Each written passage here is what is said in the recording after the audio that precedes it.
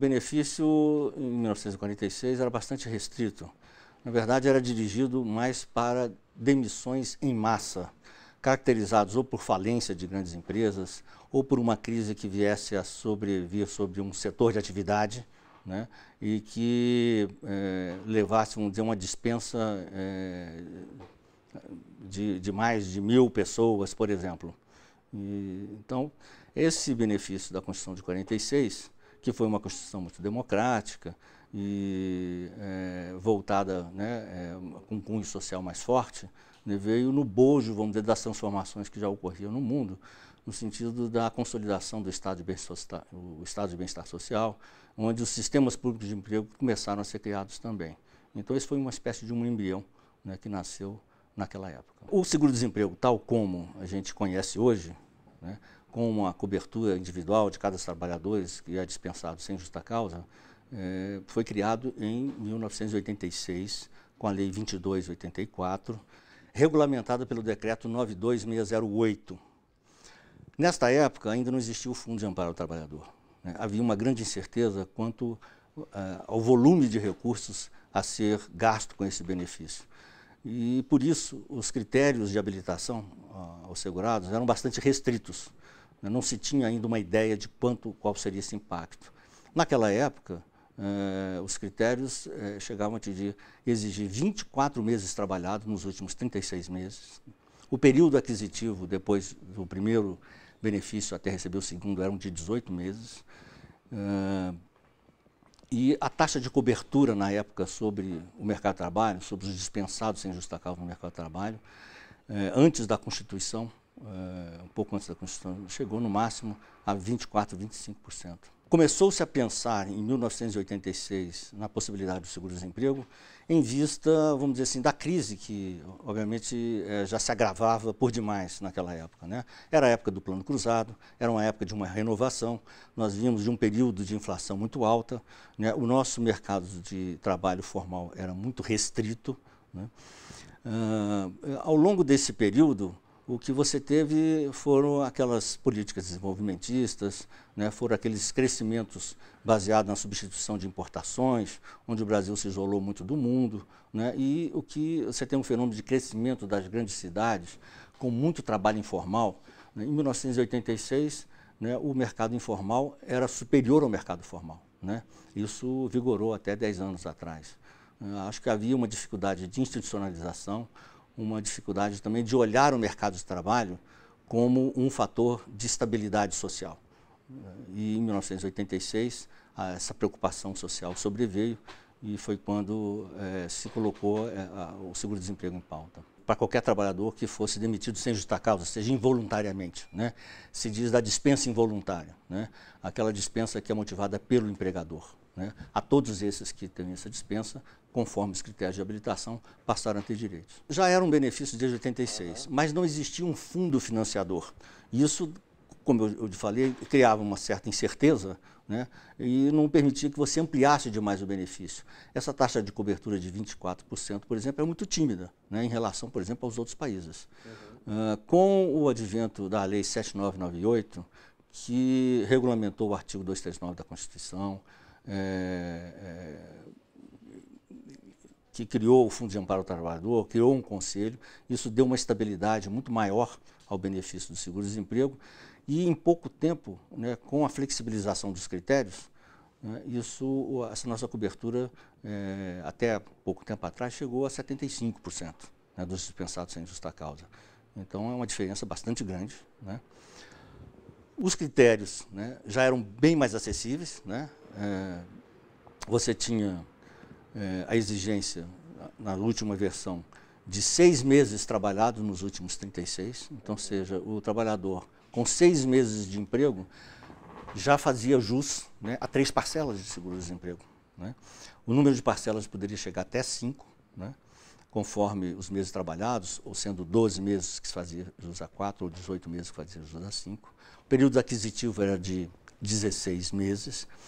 Uh, e de 1990 para cá, né, até o, o, ano passado, é, vigorou o seguro-desemprego, nós chamamos de seguro-desemprego formal, né, tinha esse aspecto. Né.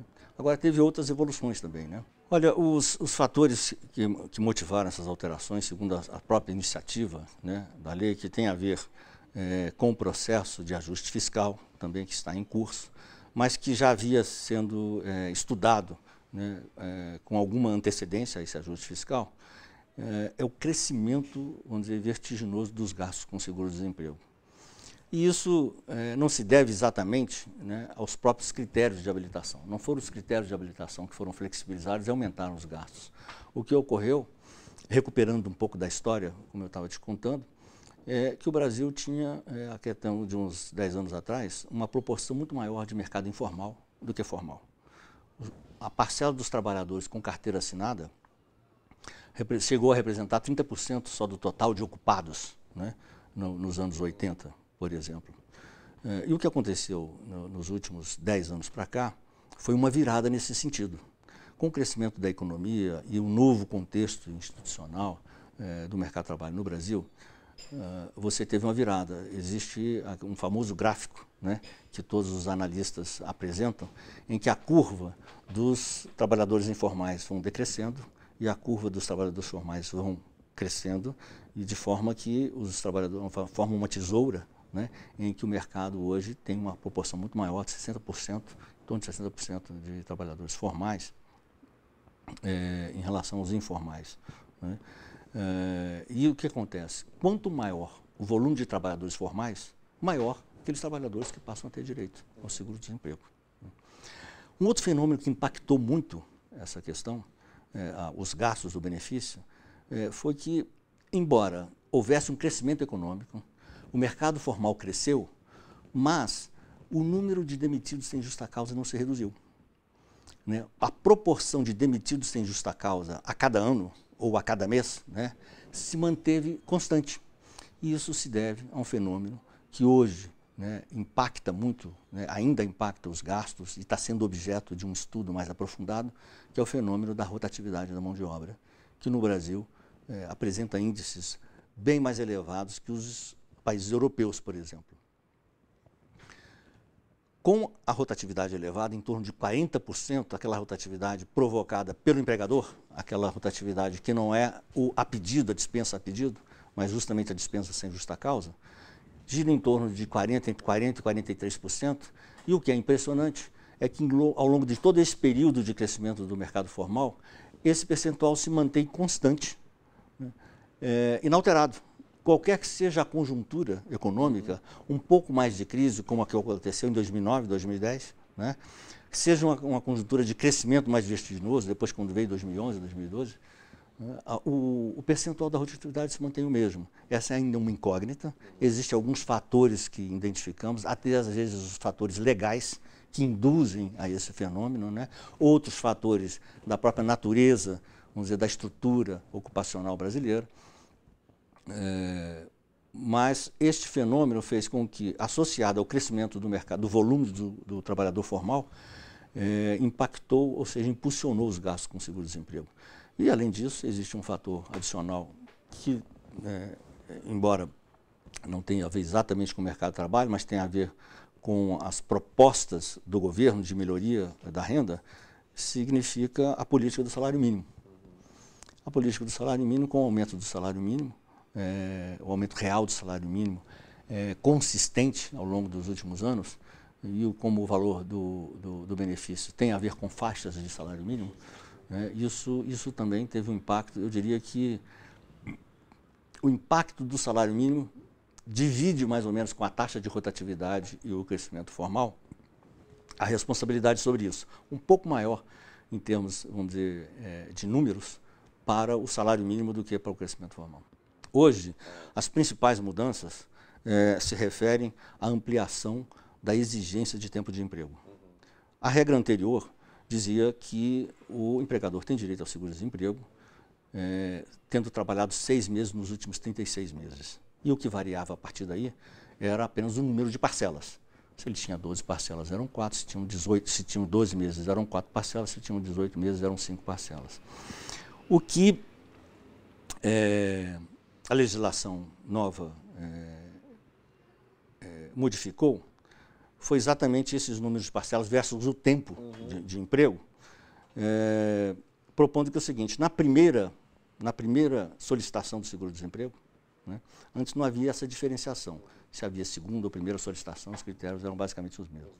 Agora, na primeira solicitação, o trabalhador vai ter que comprovar 12 meses trabalhados nos últimos 18 meses. E na segunda solicitação, ele vai ter que comprovar nove meses trabalhados nos últimos 12 meses. E só na terceira solicitação é que a regra volta a ser exatamente como era a regra geral para todo mundo, que é seis meses trabalhados nos últimos 36. É, isso vai impactar muito quem pede o seguro-desemprego pela primeira vez, principalmente. É, aquele, a, aquele trabalhador que recém-chegado ao mercado formal. Né? Então, por isto mesmo, esta regra atinge mais os jovens, é, porque é natural que os jovens tenham uma rotatividade maior no mercado de trabalho, tenham menos tempo de emprego. Né? E é, é, importante destacar que o governo também cedeu um pouco nessas, é, nessa questão da, das exigências, uma vez que a primeira proposta feita pelo governo, que foi a Câmara, é, exigia 18 meses trabalhados nos últimos 24. Então isso, isso era até mais, muito mais restritivo né, do que a que acabou sendo aprovada no Congresso a partir de uma conversação com as centrais sindicais. Né, houve aí uma, uma flexibilização grande é, do própria bancada do governo nesse sentido. Né, é, de, de, de, perceber, de amenizar um pouco esse impacto negativo. Né. O período de 16 meses nunca esteve exatamente na lei. Ele foi regulamentado, ele foi, deixou a regulamentação do CODEFAT. É uma resolução do CODEFAT. Esse período não se mexeu. Né, ele permanece o mesmo. Se você perguntar aos trabalhadores, eles vão dizer que ainda foi muito apertado. Né? Os trabalhadores vão dizer que não deveria né, ter feito mudança alguma. Né? E ao governo, né, principalmente aos setores econômicos do governo, eles vão dizer que eles já cederam bastante. Né? Nossa opinião, é, aqui como técnico do Ministério do, do, Trabalho, né, eu acho que o ministro do Trabalho mediou bem essas negociações. Né?